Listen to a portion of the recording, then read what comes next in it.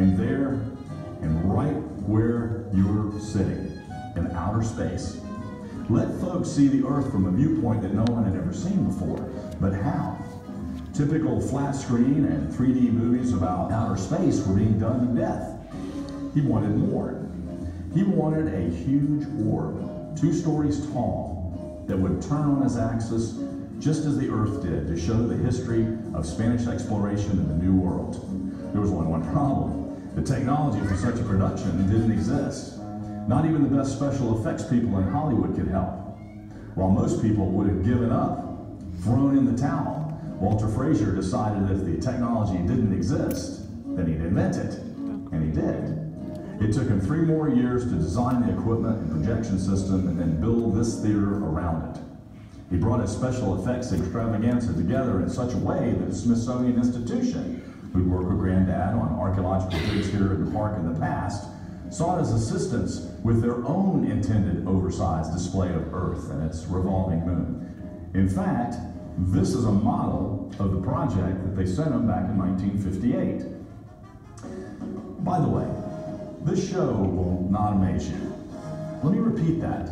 This show will not amaze you, at least by today's standards. Even though we have just finished the first renovation on this exhibit since it was built, uh, there is no digital or computer generated graphics or even Hollywood magic. But in 1960, when the doors first opened, it was standing room only. People were amazed.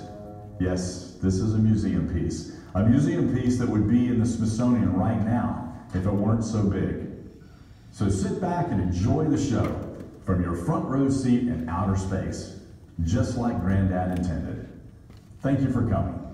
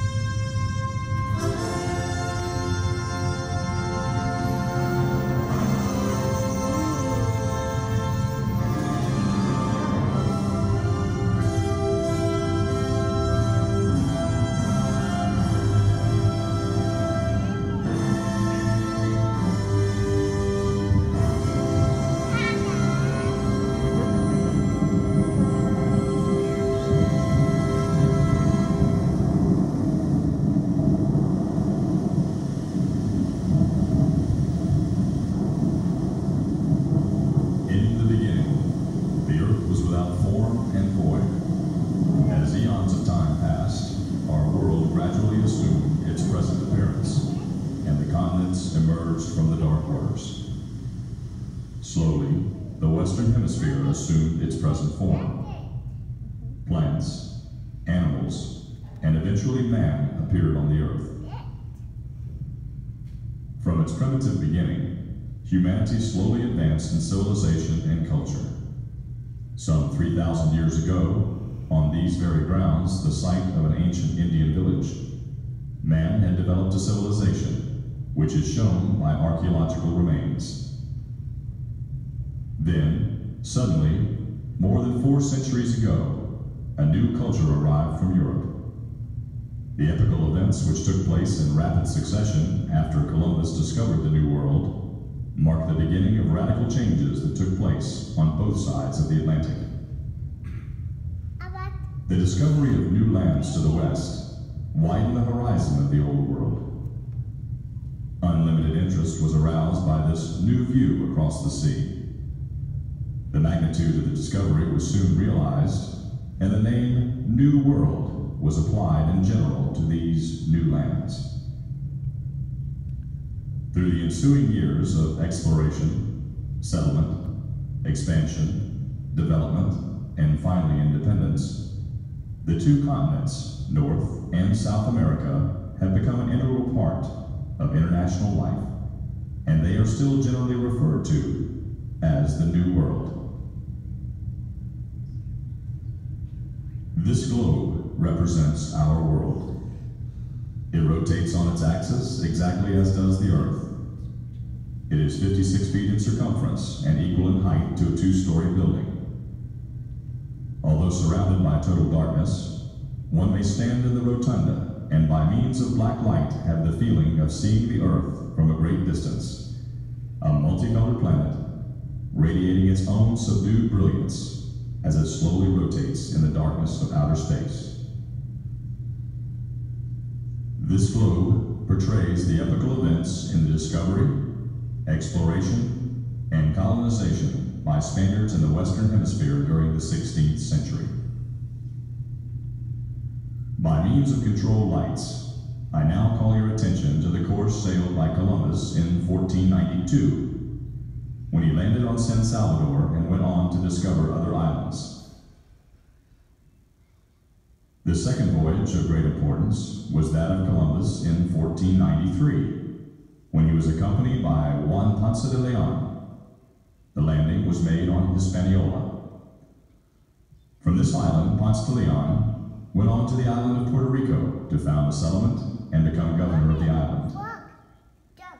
Another famous voyage in American history was that of Ponce de Leon in 1513 when he anchored his three ships within sight of present St. Augustine Harbor on April the 2nd and named his discovery La Florida. On April the 3rd, he landed and took possession for Spain. This was the first formal possession taken of any part of what is now the continental United States. The fourth epical event in the Western Hemisphere was the discovery in 1513 of the Pacific Ocean by Vasco Núñez de Balboa. The voyages of Columbus led to the colonization of the West Indies, Cuba, the northern coast of South America, Central America, and Mexico. The voyage of Ponce de Leon resulted in the discovery of the Gulf Stream, led to the explorations by de Ayllon, Cabeza de Vaca, de Soto, and Coronado, and later to the founding in 1565 of St. Augustine by Pedro Menendez de Avilés as the capital of Spain's continent of Florida, which extended from the River of Palms, Rio Grande, to Labrador, and embraced all the area of the present continental United States of America. The discovery of the Pacific Ocean by Balboa led to the conquest of Peru by Pizarro, the settlement of Chile and Ecuador, the exploration of the Amazon River and the coast of California.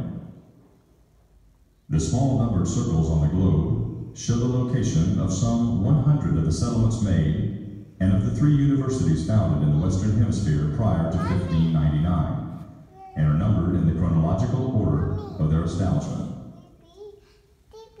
The three founded were the University of Santo Domingo in the Dominican Republic in 1538, the University of San Marcos in Peru in 1551, and the National University of Mexico in 1551, respectively. It was not until the beginning of the 17th century that England, Holland, and other European nations began to found New World colonies in Spanish territory.